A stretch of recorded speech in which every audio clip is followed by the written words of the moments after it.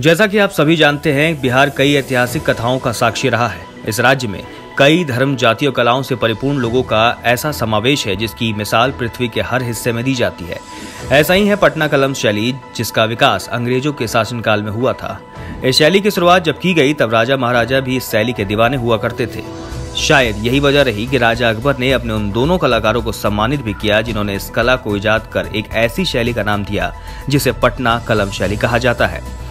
इस शैली में ब्रश से कलर लगाने की जो कला है, उसकी बानगी हमें कहीं भी देखने को मिल जाती है। इस शैली से उकेरे गए तस्वीरों के कुछ मतलब होते हैं।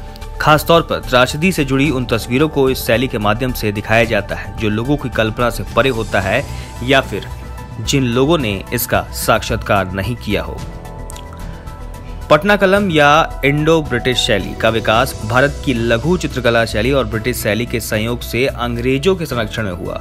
इसमें व्यक्ति चित्रों की प्रधानता और इस शैली में उकेरे गए चित्र आम जीवन की त्रासदियों के बीच से उभरते थे। पटना कलम शैली स्वतंत्र रूप से दुनिया की पहली ऐसी कला शैली थी, जिसने आम लोगों और उनकी ज़िंदगी को कैनवास पर जगह दी।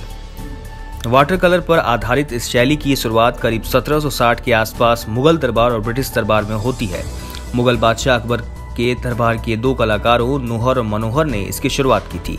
बाद में उनके शिष्य पटना में आकर इस शैली में कई प्रयोग किए और आम लोगों की जीवन शैली पर कलाकृतियाँ बनाई। इस शैली का तेज़ी से विकास हुआ और चारों ओर इसकी प्रसिद्धि फैल गई। मध्य अठारहवीं शताब्दी में चित्रकला के तीन स्कूल थे, मुगल, एग्लो, इंडियन और पहाड़ी। लेकिन पटना कलम ने इन सब के बीच तेज़ी से जगह बना ली। यह शैली बाद में इंडो ब्रिटिश शैली के नाम से भी जाने जाने लगी। मुगल साम्राज्य के पतन की अवस्था में शाही दरबार में कलाकारों को प्रश्य नहीं मिल पाता था। इस कारण इनका पलायन अन्य क्षेत्रों में होने लगा था। इस क्रम में 1760 के लगभग पलायित चित्रकार तत्कालीन राजधानी पाटलिपुत्र वापस आ गए। इन पलायित चित्रकारों ने राजधानी के लोधी कटरा, मुगलपुरा, दीवान मोहल्ला मजरहट्टा तथा नित्यानंद का कुआँ क्षेत्र में कुछ अन्य चित्रकारों ने आरा तथा दानापुर में बसकर चित्रकला के क्षेत्रीय रूप को विकसित किया। ये चित्रकला शैली ही पटना कलम या पटना शैली कही जाती है। पटना कलम के चित्र लघु चित्रों की श्रेणी में आते हैं, जिन्हें अधिकतर कागज़ और कहीं कहीं हाथी दांत पर बनाया गया है। सामान्यतः इस शैली में चित्रकारों ने व्यक्ति विशेष पर्व, त्योहार, उत्सव तथा जीव जंतुओं को महत्व दिया है।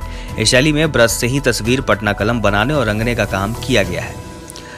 अधिकांशतः गहरे, भूरे, गहरे, लाल, हल्का पीला और गहरे नीले रंगों का प्रयोग किया गया है। इस शैली के प्रमुख चित्रकार सेवकराम हुलास लाल जयराम शिवदयाल लाल आदि हैं। क्योंकि इस शैली के अधिकांश चित्रकार पुरुष हैं, इसलिए इसे पुरुषों की चित्र शैली भी कहा जाता है। मुगल तौर काल पटना में हाथी दांत की चित्रकारी फली फूली और काफ़ी विख्यात हुई। लालचंद्र और गोपाल चंद्र इसके दो प्रसिद्ध चित्रकार थे, जिन्हें बनारस के महाराजा ईश्वरीय नारायण सिंह ने अपने यहाँ जगह दी थी। पटना में इसके महारथी थे दल्लू लाल पटना शैली में इन सब का योगदान उल्लेखनीय है। ब्रिटिश काल के अंत तक यह शैली भी लगभग अंत के करीब पहुँच चुकी थी। श्यामला नंद और राधे मोहन प्रसाद इस शैली के कलाकार थे। राधे मोहन प्रसाद ने ही बाद में पटना आर्ट कॉलेज की नींव रखी थी, जो कई दशकों से देश में कला गतिविधियों का एक प्रमुख केंद्र है।